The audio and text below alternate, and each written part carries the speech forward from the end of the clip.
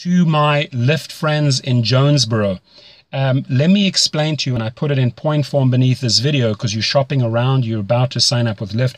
What is a good referral? What is a bad referral, right?